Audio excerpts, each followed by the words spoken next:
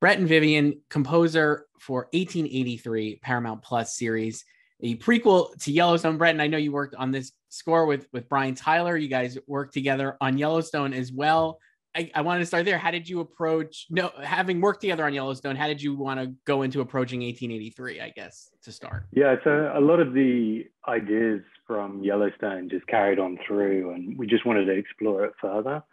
So for Yellowstone, it was a lot of trying to take a lot of the cultural, musical cultures from a lot of the European immigrants coming over, and I think we wanted to explore that more for 1883 and um, look at older older music from from uh, that era. And I think also, you know, one of the things we wanted to do was uh, that we liked doing was picking a few signature instruments from that sort of part of the world and kind of I like this idea of, you know, if you're on a wagon and you're a family, you might bring a, a small instrument that you can take with you across to America and and across to the West. And, you know, maybe it's a bit beaten up, it doesn't sound quite as in tune. And you, sort of have this reflecting of the land and the hardships that they're going through uh, present within the instruments and the music. That's awesome. So for that, then had you find the instruments and like you obviously I can't imagine there's a lot of instruments left over from 1883, let's say maybe. So like, do you have to like, yeah. how do you like make it sound like it is from like old, old, old times and stuff? Uh, yeah. So we did things like, um, you know, putting a really heavy mute on a, on a fiddle, uh, things like, um, you know, just playing in a different, a different manner. Um, also doing things like putting, you know, having a normal kind of flamenco guitar, but preparing it by putting, you know, sticking picks in it. So it sort of has this kind of dead quality to the sound, that, that sort of stuff. Did you guys try to like actually thematically connect the music for 1883 to what you had done previously on Yellowstone? So like if somebody was like, obviously I'm you could watch the shows separate from each other, but if you're a fan of Yellowstone, you're going to watch 1883. Are you trying to like get people to evoke like, oh, I, I, I'm to sound similar to Yellowstone or, or something like that? Yeah, I think definitely there is like a kind of um, you know sonic quality that is you know it lives within the world. I think the difficulty was you know honoring the Yellowstone sound, but also trying something new. And um, I think you'll I think when you listen to it, there's uh, certain instrumentations as well that makes it kind of sound within the universe. And so definitely we try to keep uh, a sense of um, uh, they're in the same world but distinct at the same time. So let us start with like the main theme for 1883. What were your like? How'd you how'd you come up with the the melody and stuff, and like what was like that process like? I guess. Yeah, so Brian handled the main theme. I think his main uh, you know approach for that was to really look at the story of of um, you know them going traveling over, and there's a sense of like sadness and and um, heroicness and stoicism that I think he wanted to try and you know replicate within the sound. Yeah. So you've worked together with Brian uh, frequently, obviously, and obviously hmm. co-composers on this and, and Yellowstone as well. What is, I guess, where did that relationship start? I, I start there, and then like could, I would love to know how you guys work together. But how did you guys like yeah. hook up? I guess first. Well, so I, I worked for for him as an assistant for a while, and he, you know, would hear stuff that I would write. Um, I think the thing that he liked most was uh, the fact that I would record myself playing guitar. And so um, when Yellowstone came around, it, it, sort of felt like a perfect fit for us to do together. Um, and so a lot of the sounds, I ended up stealing a lot of his instruments because he, he has like things like Greek Bouzouki, and that ended up being in the score. So, um, and I was able to play it to a certain extent because, you know, it's, it's easier to translate than, you know, say doing a fiddle or something like that. And so I that's how I got on board with it. And I think kind of our general tastes were in the same area and we kind of just knew how to approach it the same way. And then from a working perspective, how do you guys are you like constantly in contact when you're writing? Like how does it work? How does that process come together for you guys? Yeah, so yeah, definitely in contact and like you know, he'll listen to stuff and I'll listen to his stuff. And, you know, we'll, we'll there's a lot of a back and forth uh, with the music. And, you know, sometimes you'll be going down a route that you're not sure about. And, and then, uh, you know, Brian will say to me, yeah, keep going, you know, make it even crazier or weirder. And, and so it's, it's nice to have that uh, you know, back and forth with them. So obviously, Taylor Sheridan is such a, a creative, like a creative force on the, the, Yellowstone franchise. Certainly, I would love to know, like, having done Yellowstone in 1883 here, like, what what is his approach to music, and what does he like tell you guys? What kind of feedback do you get from? How does that kind of collaboration come together, and like, what is what is he saying about like what you guys are doing musically?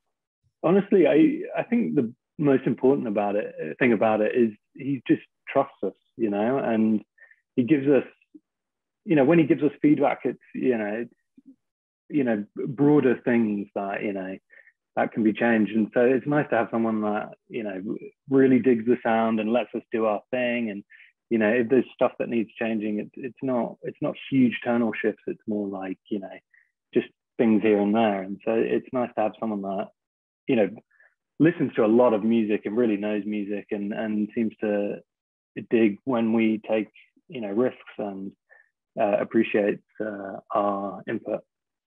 You've done a good deal of, of contemporary music, obviously, and this is a, a, Western genre, not necessarily something you guys have done a lot of. Certainly, what do you go back and like? I mean, I, I it's definitely unique to Yellowstone, certainly, but do you go back and like look at other westerns, or like how does that come like from a inspiration standpoint or you're like oh like do you try to like file things away like when you're watching other genres or how do you like yeah. think about it in in regards to its genre basically i think so taylor really didn't want to do the the cliche western type thing. And so in a way it was sort of that was an inspiration of something not to do and to to kind of uh, you know go somewhere different. I think for us it was more kind of the the idea of okay, let's take it from you know all these European immigrants moving over, and I think that was really the spark that ignited the kind of the tone for the show, the this sort of world building of character that you know these these instruments that uh, and cultures, musical language that uh, a lot of these European immigrants would have brought over. Did you have like a specific scene or character that you were like very excited to uh, put music to or anything? Like any theme or anything? Um i think yeah i think like uh, well the whole the whole show follows you know it's it's a it's a band of like a lot of different people. And so i, I really like this idea of you know uh, writing for the hopes of them as a collective and kind of how you can connect each individual person as as a whole um, I think was just really really interesting and how you know as as they, lose hope and you know have discontent and, and all this sort of stuff how does that reflect as, as uh, them as a group within the music I thought was really interesting yeah I was looking at something that Brian had said recently he was talking about being a composer and he was like oh one of the only the uh, he's uh, the only way to grow as a composer is to keep learning something new, which I thought was like really interesting. And obviously, like you've got a wealth of experience. Certainly, he does as well. Like with this, like so, what did you learn? I guess new doing this that you're like excited to take to the next project. Yeah. Would you say? I I mean, it was a lot of music this time, and and because you with Yellowstone, you can there's a lot of um, uh, source music as well, and and I think with this, it's such a grand and epic scale, and uh, I really never done anything on that scale before and, and to that quantity of music. So I think it was a real lesson in, in how to handle such a grand scope of narrative uh, musically and how the music morphs and, and writing lots of different themes for different characters. Um, yeah, and how to approach it that way. What's it like? I mean, just like basic, like what's the recording process like for something like this? Because obviously it is, it seems like yeah. probably pretty complicated. I don't know. Like, what is it like? yeah so there's a lot of i mean we started off with the big theme and some of the cues uh, from from episode one but there's also a lot of recording of live musicians and uh, just soloists here and there and then um, brian and i also record ourselves playing and so it's sort of this kind of jumbled up uh, different uh, sizes of recording uh, that happens throughout the whole thing yeah, well, it, it's a really great score. Uh, 1883. You can listen to it on Spotify. The show is on Paramount Plus. You can watch all the episodes now. Breton Vivian, thank you so much for doing this. Appreciate it. Pleasure. Thank you, mate. Nathan Barr, an Emmy winner for Hollywood, along with four other nominations, who's wrote the great music for the Hulu comedy series The Great. Uh, Nathan, uh, coming into season two of the show, what were your overall goals for the music? I guess, and love to start there. And, and what were your thoughts, basically, coming in? I mean, I have two like amazing collaborators on the show, uh, and Tony McNamara and Marian uh, Macgowan.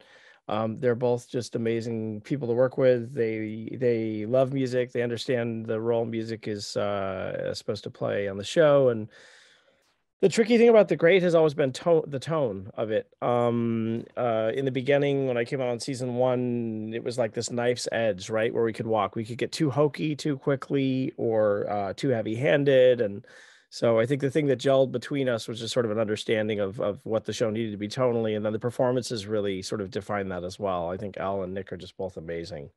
Um, so yeah, it was just sort of to continue the journey. We had uh, uh, Elle's mother show up uh, in a great cameo this season, which was really fun. Um, and so yeah, that's that's kind of the, the deal.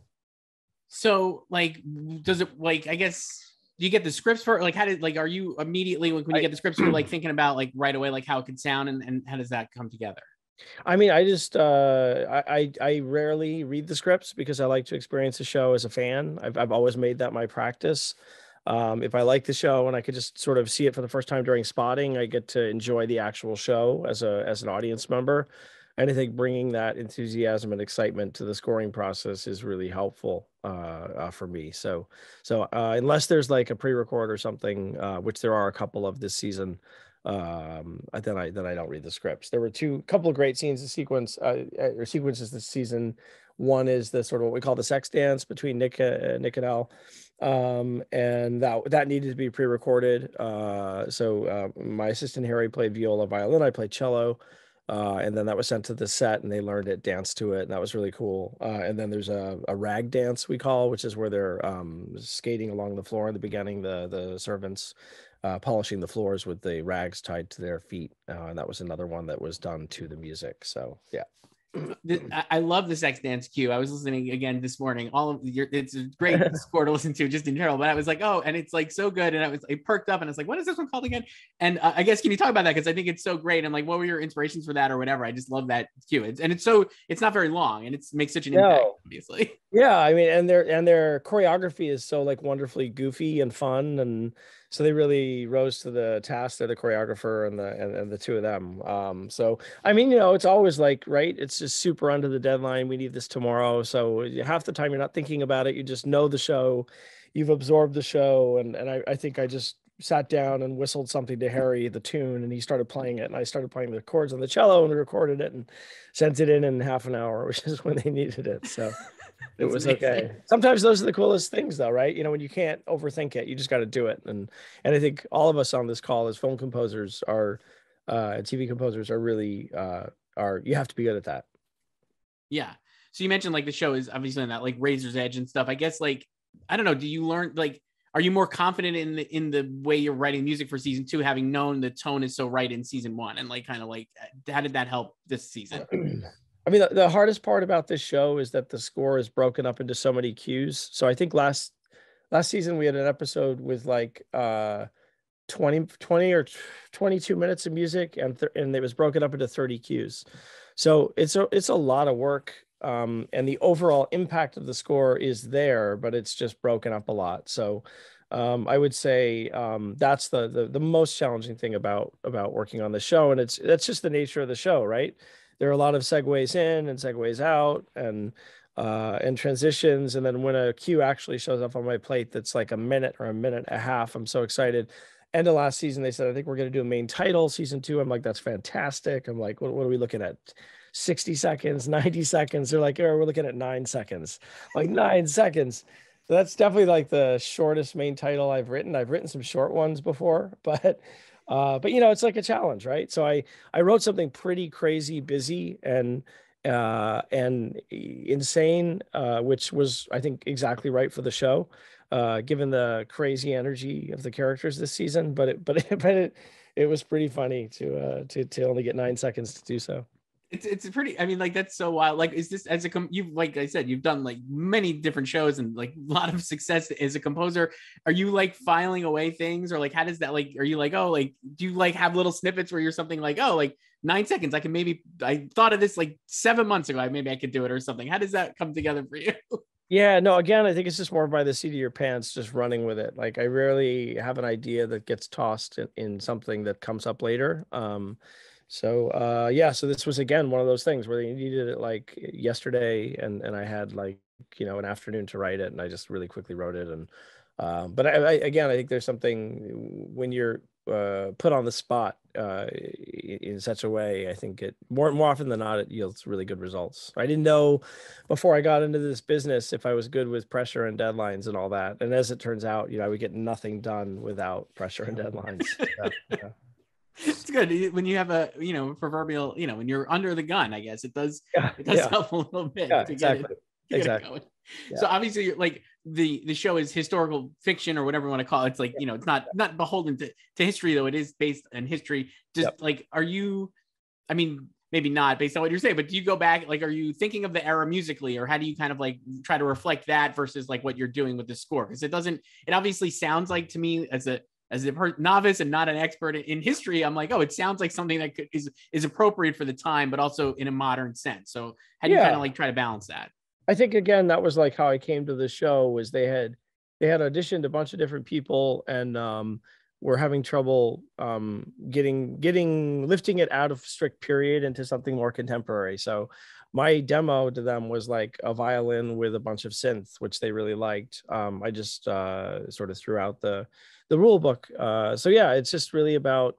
Um, I love Tony's sensibility around the story. Right, he takes these historical characters kind of squints at them and then does like kind of whatever the hell he wants with them and i think that's partly why the show is such a success and so funny and appealing and surprising and and and so the score you know follows suit so there's definitely like a lot of like anachronistic like synth stuff happening with the orchestra uh, throughout the show which i think again lifts it above the sort of straight period approach which which the show is not and therefore the music doesn't want to be either um yeah yeah, you mentioned watching it as a fan too. Obviously, the Catherine and Peter relationship is so complex. How do you like, you know, how uh, how are you writing music to that and making sure like they're like, are you reflecting their relationship and the tension of their relationship in the score? I guess. Yeah, I mean, I think again because it's all these short little cues. It's not a traditional show where there are a lot of like very specific themes for specific characters, and I didn't know that going in. But just as I've been writing, like it's really every cue on some level is a new thing in the show and that's what it wants i don't know why it wants that necessarily but um i'm certainly their relationship is one of the things like he's just so completely arrogant and uh, misogynistic and, and horrible um and yet he's got uh, you know eh, he's going to help have a child with her and so that that that sort of emotionally connects her to him and so yeah it is an incredibly complicated and i think tied again together in that sex dance where it's where it's like you know, it's this constant push pull, push push pull. It's playful. It's dark. He's gonna kill her, but then he loves her, and uh, so yeah, the score needs to needs to reflect all that. You mentioned that sex dance again, but is there a, a, a was there a cue or something that you were like really excited by or proud of beyond like that one for this season?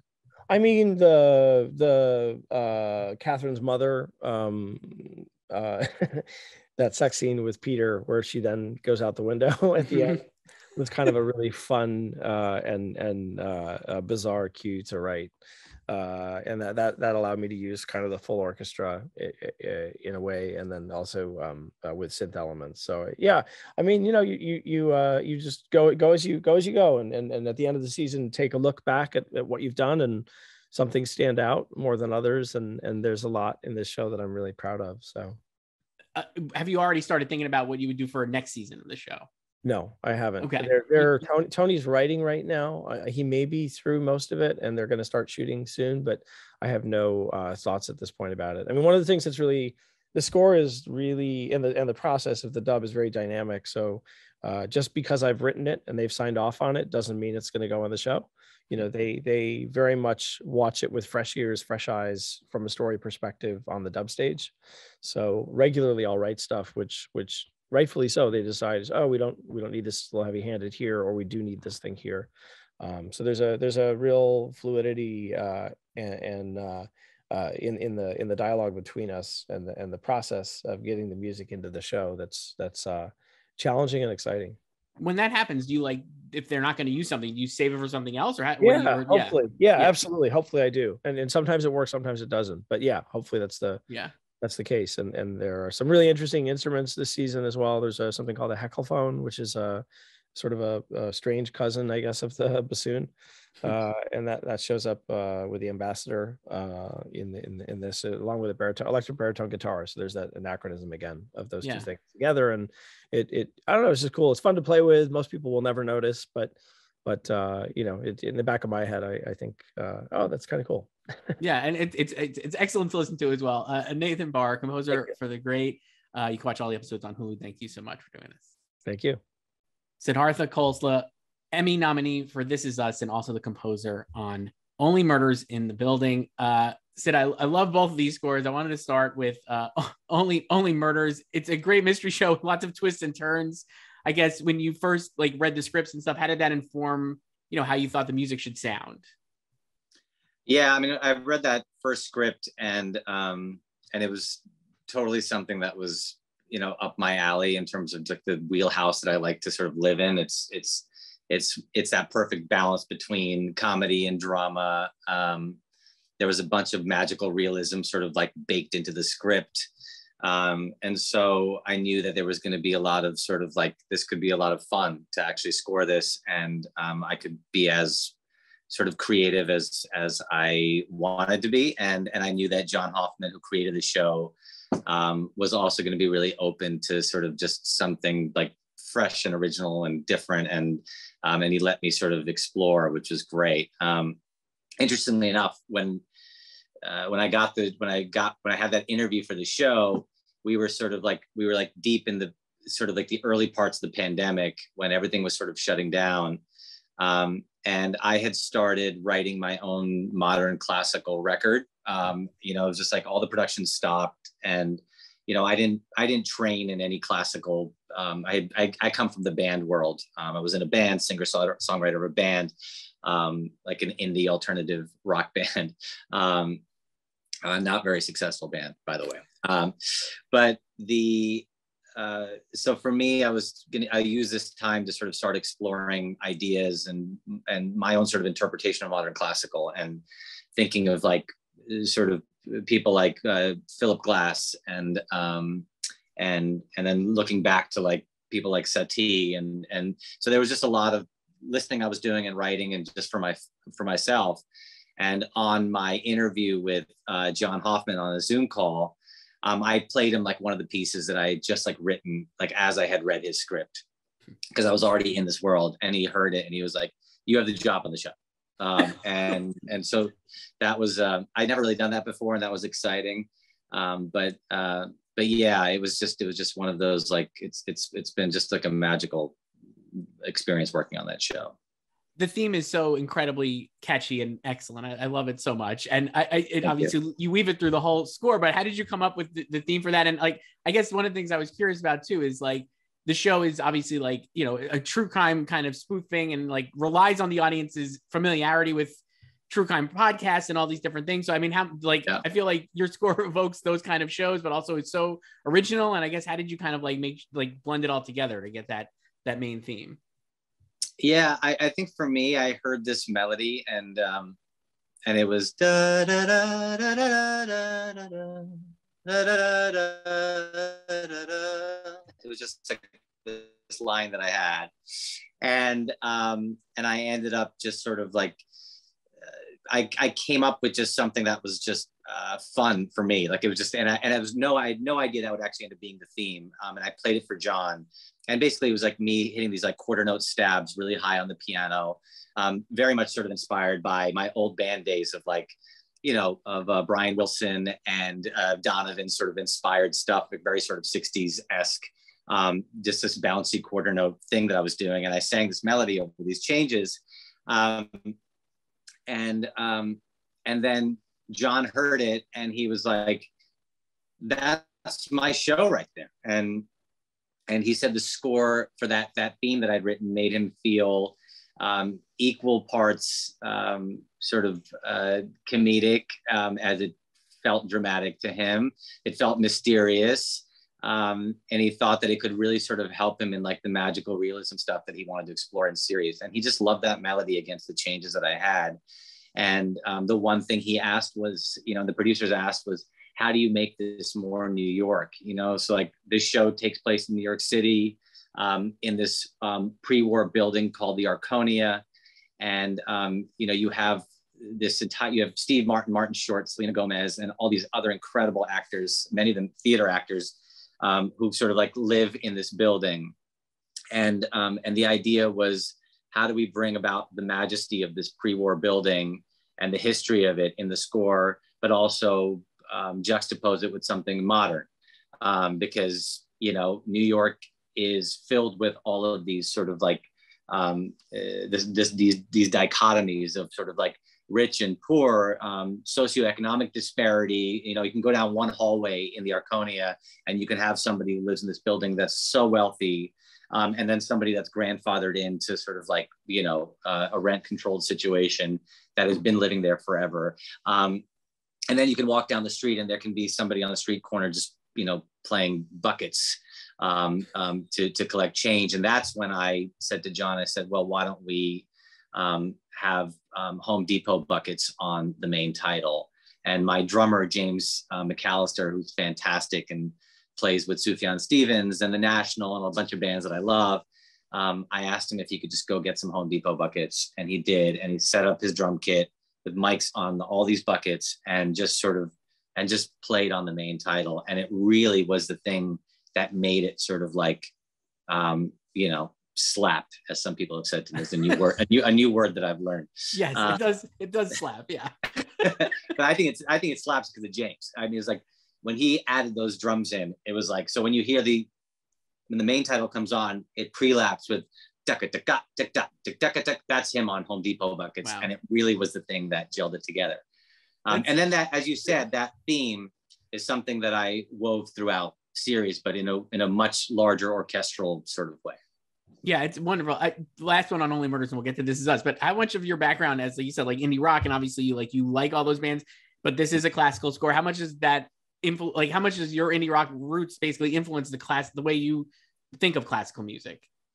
I think for me, I'm very melody driven. It's always been just like the way that I write. It was the way I wrote songs in my band. It's the way I write scores now. Like I read a script and um, I hear melody right away. It's sort of like I approach scripts like I'm writing. I, I approach these shows like I'm, um, uh, you know, like I'm I'm a songwriter as much as I'm a composer, um, and and that helps me sort of think of things around theme and melody. Um, I'm a huge fan of um, of of of having a theme that goes through series um, that can permeate um, through different experiences that the characters are having. So that theme that I wrote ended up, oddly enough, it like it worked. You know, obviously, I would have to sort of contextualize it with with uh, with an orchestra and and and and and and orchestrate it accordingly. But it seemed to work in like really romantic moments. It seemed to work in even really dark moments, mysterious moments. Um, and and and so when I had that theme, I think it was the nature of the changes. Um, that melody I sort of reharmonized with sort of a bunch of minor chords. Um, sometimes that minor, that same minor chord, we'd go from D minor to D major um, over the same change, and that sort of would like feel slightly unsettled. Um, so for me, it came with melody first, um, and um, and I also had like wonderful sort of like orchestrating team.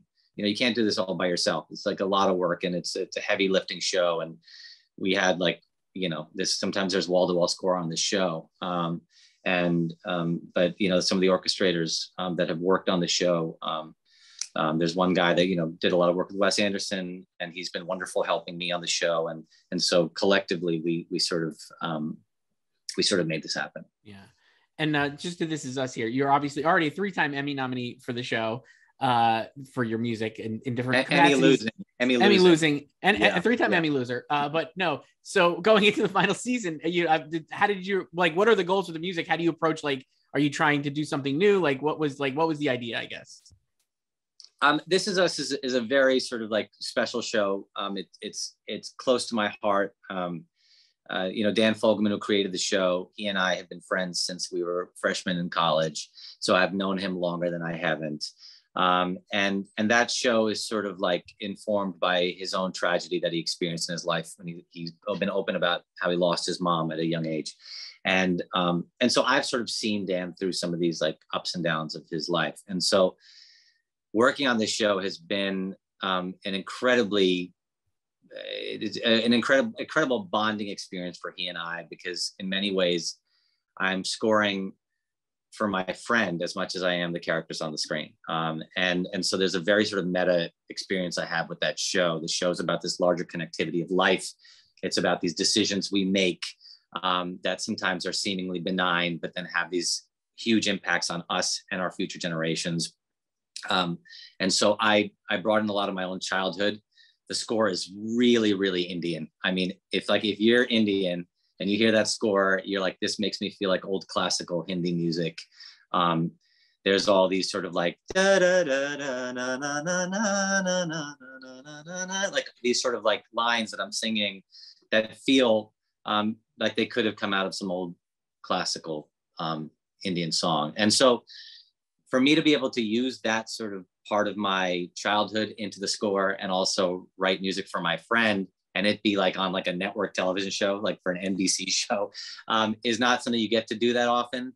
Um, and and Dan and I, it's been such a creatively rewarding experience. Um, I actually like I I I cried twice in my studio this week on like I wrote the final cue, and the, the, not the cue didn't make me cry. I don't want to be that sort of egotistical, but it was like it was just as I finished it, I was like, oh my gosh, like this show has done so much for my career. Uh, it's been such a wonderful experience. I'm never gonna get to do this again. So yeah. Anyway, well, the cue, I'm not gonna cry again, so I'll stop. Well, the cue might not make you cry, but I guarantee you, people who watch this Is us will cry because of, of your music in those final episodes. Uh, Siddhartha Khosla, Khosla, excuse me, the composer of Only Murders in the Building, which is on Hulu, and This Is Us on NBC. You can listen to the scores on Spotify and all streaming platforms. Thank you so much for doing this. Thanks. Daniel Pemberton, an Oscar nominee for The Trial of Chicago 7, an Emmy nominee for Black Black Mirror, whose score for Welcome to Earth is on Nat Geo, all episodes streaming on Disney Plus. Uh, I'm sure there are a lot of places you could start with this score and in this project. Like, how did you approach it uh, coming in for a dr- nature docu series like this? Where, where'd you start? I think you know one of the big things about this this this series is it doesn't feel like any other nature doc series. I think partly because of Darren Aronofsky's involvement and the way he sort of visualized like that this whole series had to feel very different. And that's kind of what got me excited about it because i wanted always want to do something different. And a lot of this for me was like seeing the world in a way you've never seen it before. And so i wanted the music to um, have that same sense of the unexpected the unusual. So you know, when you're seeing anything from a volcano to like a tiny cell on a plant, I wanted the music to be very uh, like different to what you'd heard before in nature documentaries. So that was a big thing because I wanted when you have music that tells you, hey, here's that thing you've heard before. Here's a big brass chord that goes like this. Well, I actually got brass sound up here. You know, here's here's a big magnificent uh, mountain. So it's going to be like. I didn't want to do that. I wanted it to be like a sound and, a, and a, an approach that made you go, hang on, what, what what's going on here? And so you engage with the story and the environment in a different way. So are you starting that from when you get the visuals? Like how do you approach it? Because like you're right, like when I watch the show and then even listen back to your score, I'm like, this sounds almost otherworldly at times. And like obviously, like the visuals are stuff like I've never seen before either. It's just an incredible the, the, the cinematography is unbelievable and everything. So how did you like where do you start, I guess, from there? I mean, it's a bit of everything with this show. I mean, like, yeah, the cinematography on this series is absolutely mind blowing. And every time you get some new stuff in, you'd be like, oh my God, this is amazing. Like, where is this even real? Like, this bit was a car driving, there's the one with the car driving over the Mirror Lake. And you're like, how, how does this even make sense? Um, I, so, what I would do is I, I started writing early on. I try to create a palette of sounds. I sort of try to create an orchestra out of non-orchestral elements. It was, you know, it was trying to trying to create sounds and textures and and um, sort of instruments that I would kind of create and build myself out of sounds of nature, of wildlife, of electronics, and things that that felt unconventional. and then I would sometimes I would I would look at visuals and use that as inspiration, and then start writing blind. Um, sometimes I would write stuff very specifically to picture. It was a very fluid edit on this series, so I found I would often get the best results by watching things, being inspired by you know the amazing cinematography, being inspired by the the world they were showing, and then writing a piece of music for that, but away from it. And then as the show progressed, we'd start like fine tuning things and then start putting them together more. What for? What was like the weirdest sound, for lack of a better question, like of that you were found or that you were like excited to use in the score? Um, it's, it's, it's, it's this is a weird one because I've been collecting sounds for years, right? Like, I I build and try and make as much of my own um, sounds on projects, and so any any anytime I go away, you know, grab a tape player. Well, I, I, you know, even the iPhone. Like, actually, this one of the things I'm most proud of is the fact that this iPhone, which is a very battered, broken one. I, I have a fancy newer one, but I've recorded lots of stuff on this to the extent that even the film yesterday, the Danny Boyle film, features a cue which is literally taken off voice memos, a guitar part off this, no mixing, and it's in a Hollywood film. So you can get great stuff off these. And so I will record. I remember being in Oslo and I was in a sculpture park in Oslo and it was snowing. And uh, there's this weird metal sculpture that had just the most amazing reverb. So I was just like, right, I'm going to stand in here and make lots of strange noises, whistles, shouts, calls. Um, and then I'll just record them. And then one day they will come in handy. And guess what? They did about four years later for this show. Um, so this show allowed me to sort of plunder this, like my own sort of travels in sound over uh, around the world, um, and sort of pull all those sort of ideas together. So, I mean, there's so many different things. There's like a load of water recordings I'd sort of made on holiday. Um, I mean, I should probably get Nat Geo to put in the budget, like basically to fly me around the world, just going to cool places, recording sounds. You could go with the whole show, maybe, right? I mean, like this. Yeah, yeah that would be. That's the one thing that sucked about the show is like you. you I wrote most of this during COVID, so I was just stuck in this room, like for so long, and I'm okay with that. But there's something kind of uh, like masochistic about being stuck in one room and seeing someone go to, to the ends of the earth on some of the most exciting adventures and journeys. It's truly funny. Uh, do you like? Is there a different approach when you do a docu series like this as opposed to a narrative film, or is the kind of is is it the same? Like you're just trying to tell a story. Like how do you do you separate it at all? Yeah, I mean, every job I do, I try and do very differently. So I, if you, you know, if you're familiar with my other work, but like I always try and make it very different. So you know, like you know, right now I've got like in, in sort of the kind of this this moment we've got like Slow Horses, which is a spy show, which got totally different sound to the After Party, has a totally different sound to to this, which has a very different sound to Spider Verse or something. Um, and so I always look at what I feel is right for the project, and then I try and do something where I'm starting afresh with like a whole new palette. And I think one of the things with a doc series like this is it, the, the narrative demands are different to a drama. And there are still narrative demands, you know, like let's say the opening of the, I think it's the first episode where they, you know, they're driving up to this volcano. You're spotting all these kind of things. I need to hit this. We need to get the, you know, the, the, the sense of fear here. We need to get a turning turning corner when we get into this. But you can write in a different way. And so I think I kind of embraced the freedom that, that this series gave me that allowed me to sort of be a bit more experimental and um, you know play around a bit more. Um, so I, I say from that point of view, yeah, this this was a slightly different approach, but it's different for everything I do, really. Yeah, that's one of the things I love about your stuff is it always sounds different. Well, you mentioned before Darren Aronofsky is the EP. Like, what kind of feedback do you get from him, or like, uh, does he? Have, it feels like he, from looking at his films, it feels like he has a strong sense of music and how like a specific sound, maybe. But what was his feedback like? Yeah, I mean, he built like a very big style guide, which I think was very important to the series and the look and the feel of the series. And you know that had a big impact on how I approached this. And, and, and one of the reasons I, I agreed to do this series was was the fact that his style and his approach was not the typical approach for for you know what is basically in some ways a nature documentary and you know that involvement is is what allows you to push the envelope a bit further um, and that, you know that's kind of what what i wanted to do with this was was make this feel unlike any nature documentary you'd seen before and sound like no nature documentary you'd Yeah. seen before you mentioned like how like you you obviously hop around a lot of different genres and stuff. When you do something like this, do you did you learn something on this that didn't you think of to take to the other project, the next project, or like even though if it's going to sound so different or and everything's individualized, like do you how does your learning how do you how do you like grow? I guess. Yeah, I mean, the thing that's good about doing a different approach on every, trying to do a different approach on every project is you always at the beginning, you're like, I don't know what the hell I'm doing, rather than like, oh, I know I'm doing. I'm going to do the same thing I did on the other film, but I'll just change the noises. So there was a ton of stuff. I mean, one of the things I really loved doing in this film, which is kind of weird, was I was stuck at home. It was COVID. It was very hard to organize musicians or anything. So I ended up doing so much of this kind of on my own.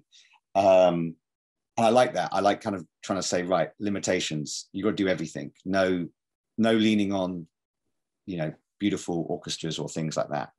And so one of the things I want to do is I want to do some vocals. I was writing a track. I was like, you know what? I'm just going to record these myself. Now I cannot sing. I'm a terrible singer. Okay, and it's not like, oh, I'm a terrible singer. I'm very modest. Not shit. I'm awful. But I, I was also realizing I needed to record. I wanted to record vocals. So I did a thing where I just tried this technique out, slowing tracks down, singing them in the pitch that I could just about get away with, covering them in auto tune um, and like pitch correction, then speeding the tracks back up. So I'm then singing in a higher pitch voice and it sounds more unusual and less human. Again, uh, the approach all the way through this was to try and make things feel unusual and unexpected. So I didn't want it to feel like a human singing or a terrible film composer singing, obviously. Um, and so I did a whole bunch of those, and then through this sort of technical jiggery pokery, and then sort of degrading it through tapes and things. Suddenly get these really haunting, weird vocals, uh, which are in a bunch of the tracks as well. And that was a great, you know, that was just like me messing around, trying out a new technique, which I would, wouldn't have done on any other show, I don't think. Um, but this one gave me the freedom to do that. And I'm like, oh, that's quite cool. So, you know, there's always little bits, or like there's this, there's this other synth actually here, this synth, boom, and that that I, I I sort of used a bit of it to learn how to program, to try and learn how to program that synth, and got some really cool kind of unusual sounds out of it. That's awesome. Uh, this this score is awesome. You can listen to it on all streaming services, I guess, and also the show is Welcome to Earth, Nat Geo show on Disney Plus. Daniel Pemberton, thank you so much for doing this. Thank you. Breton Vivian, composer for 1883. Nathan Barr, composer for The Great. Siddhartha Khosla, composer for Only Murders in the Building and This Is Us. And Daniel Pemberton, composer for Welcome to Earth. Thank you all for for doing this. I, I wanted to start I, I, as a fan of music scores. I can remember the first time I was like, "Oh, I just loved hearing this score." It was the soundtrack to Rudy for myself. But I was wondering for all of you guys, what was the score or anything that really got you excited about playing music for film and television uh, beyond just like being musicians in general? So, so Breton uh, from 1883, why don't you start? Um, I love uh, Memoirs of a Geisha by John Williams. I think it's something about something to be said about a guy who's so incredible at writing to kind of pull it back and sort of do something that is slightly more simplistic, but adding the complexity in a way that is kind of nuanced and, and very, you know, unexpected. I've always love that score. I just think it's great. Yeah, Nathan, how about you? Uh, a couple Anton Karas' score to the third man. Uh, I just love how simple it is, and it's one instrument, the entire the score, and it's got a great tune. Uh, and then um, I grew up in New York, and there was this local station, and whenever you came back from a commercial break, break, it played this huge sweeping theme that, as a kid, I didn't know what it was, but it was Gone with the Wind, and and the, the that tune is is just so awesome and speaks to the real golden age of film scoring. So those were two early ones for me. Nice. Sid, how about you? Um, Angelo Badalamenti, my probably one of my favorites of all time. I, I think his score for Twin Peaks um, was um, one of the most haunting pieces of music I've ever heard, and it was all focused around that. Da, da, da,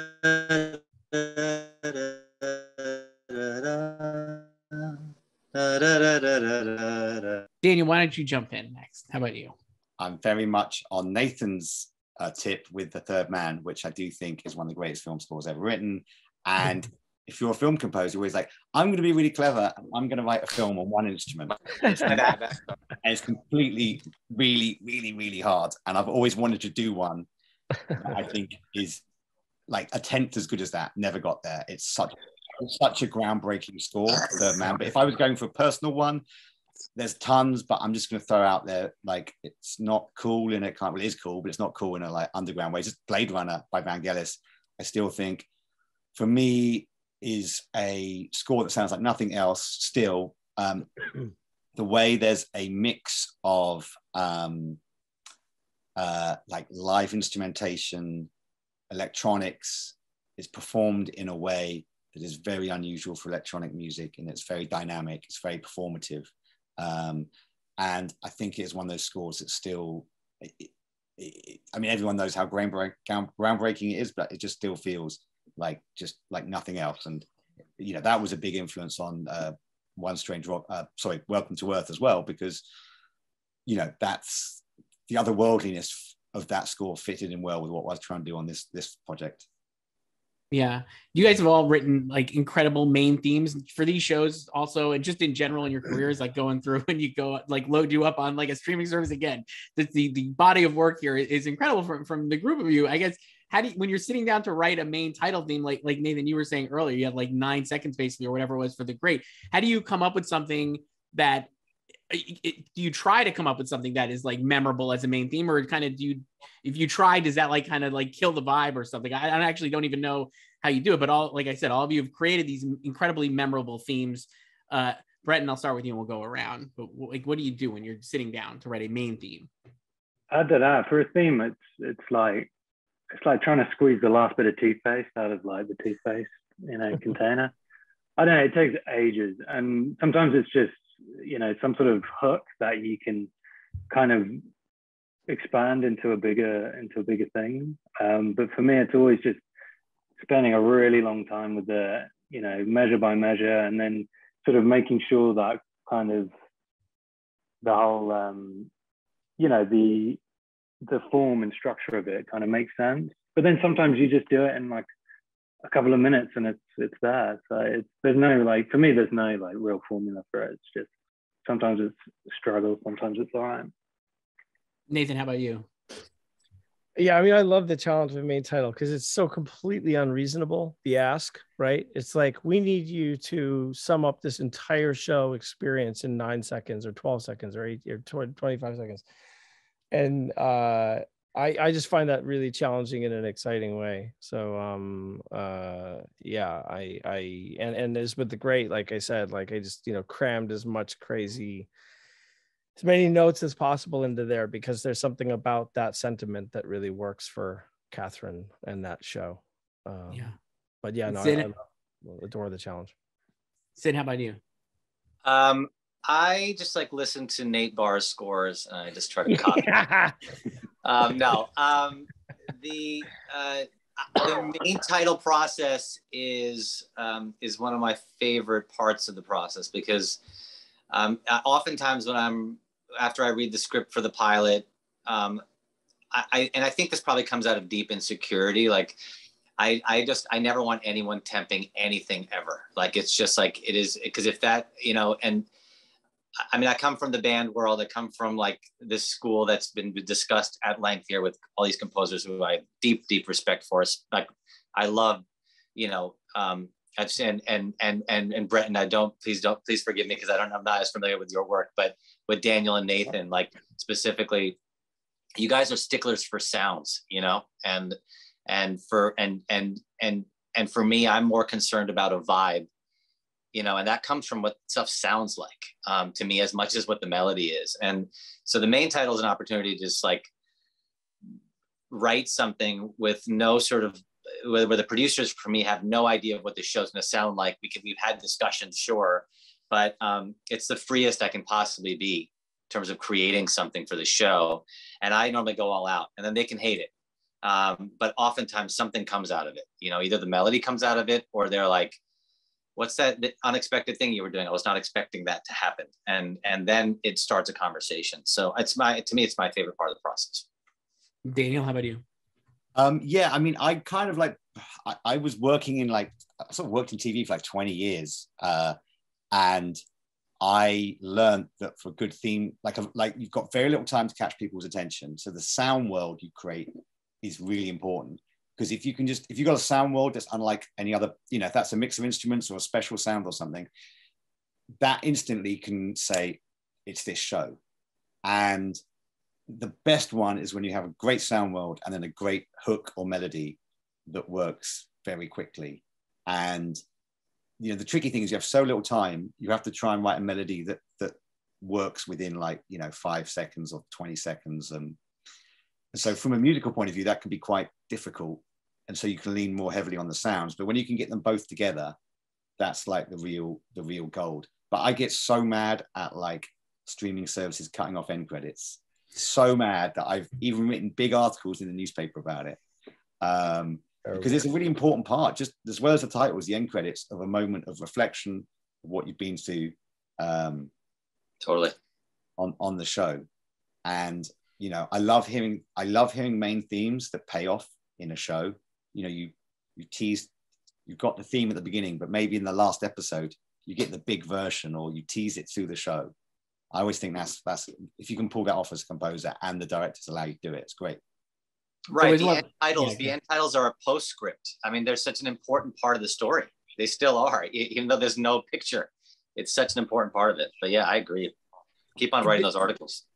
you should because they uh, reminded me of actually uh, Queen's Gambit that score for that. And the the, the last episode has the, yeah. the, incredible main theme at the end, and it's like over like a big meaning title thing, and it just is like it brings the whole thing together. I mentioned Queen's Gambit because not in competition with any of your shows this year, so it's totally totally safe. that, safe that is a great example, right? I totally remember watching that whole series. Mm. Netflix does this thing that drives me mad: is you can turn off them them turning off the credits, right? But on the last episode of a film or a film or a show, they instantly cut it off and it's like the dumbest thing ever because all it does is makes me mad at Netflix or mad at Amazon or whatever. And it's like as a customer, it's like having a great meal and then someone's spitting in your spitting on your plate as, as you finished. You're like, whoa, what have you why have you done that? I might have finished the food because I had like one chip left. Uh, more than a chip, I don't want to compare it to chip, but um, yeah, it's kind of I, I don't understand why none of the streamers offer a mode for people who care about stuff to turn it on. I get that most people don't care, but like the people who do are kind of like why I do my job. Last one here before we wrap up. That's that's great. You obviously, I feel like the group of you certainly have like a familiarity and camaraderie with each other. I feel, and you know, all like kind of respecting your work. When you talk to young composers or musicians, you know, like what kind of what do you tell them about like doing this for a career? Hmm. Breton, how about you? And then we could go around here. I don't know. I think for me, it all clicked when I stopped focusing on MIDI and actually started recording stuff myself. Like whether it's me playing guitar or, you know, as a lot of other composers on here talked about, like finding sounds that kind of allows you to, you know, world build within within the show. I think that's when it suddenly, you know, things started to fit into place for me. Yeah, Nathan, how about you? Yeah, I mean, just like being unique you know like having your own voice as a composer like there you, you can there there are a number of composers who make a really good living sounding like you know generic film music. But i think like just the excitement of like hearing a truly unique identity to someone someone who spins it in a way that you've never heard before is is exciting and worth everything. Mm-hmm. sid what do you what do you think? Yeah um to piggyback off what nate said same thing. You know it's just you I, I mean, I, I always tell people, and it comes from my own experience. I come from the band world, you know, and so I was like, you know, I, I got to for many years make records that I wanted to make and didn't care if anybody bought them or not. And it was, you know, and, and people didn't, but, um, but still it was like, it, I learned to sort of create my own sounds as much as I could, you know, um, down to the drums that we used or percussion we used. Or I mean, um, this is us. I'm playing all the percussions on this on a wooden table with my fingers. I'm playing tabla on like a long crate and barrel wooden table. That's the sound of it with my fingers. Sid, you're, you're breaking up again. So unfortunately, I'm gonna I'm gonna cut you off and go we'll go to Daniel here. Daniel, what do you tell people? Um, yeah, I mean, like the the, the you know, obviously the number one thing, like we're all saying, is like find your voice. But it's like really hard. I mean, I'm always like, yeah, find your own voice. Because we all know I'm trying to do that half the time. I'm like, oh shit. Um, I so I think if you're starting out, I think one of the most important things is kind of own your limitations. Do not think you need to get like the world's biggest computer, every single sample library. The more stuff you have, the less interesting you're going to be as a composer, I think, because I would actually like I start when I started doing music, all I had was one synthesizer and a tape player, and I learned how to program that synthesizer better than anything I've ever done since, uh, because it was all I had. And I think there was a, some of that stuff was more interesting than maybe things I'm doing now because all I had was one thing, and so I would I would be like really limit yourself and work out how can you make something work within the limitations. You know, like everyone's so obsessed about buying the big sample sets and the big sample libraries and the big computers, but you don't need it. If you can build it yourself, like this is my computer, it's like shit. It's like the little trash can there. That is it. That is it. And I do like all kinds of things on that. And that's the same sort of computer that everyone else has got. Um, so you don't need fancy stuff. You just need fancy ideas. Right. Easier said than done, maybe, but for you guys, maybe not, because all these scores are incredible, and all of your work is incredible. Breton Vivian, 1883 on Paramount, plus Nathan Barr, composer for The Great, which is on Hulu, Siddhartha Khosla, Only Murders in the Building on Hulu, and This Is Us on NBC, and Daniel Pemberton, Welcome to Earth, a Nat Geo show you can stream on Disney Plus, and please listen to all your scores as well on Spotify and other streaming platforms. Thank you for doing this. It was great chatting with you about the, these scores. They're really great. Thanks, Thanks so much.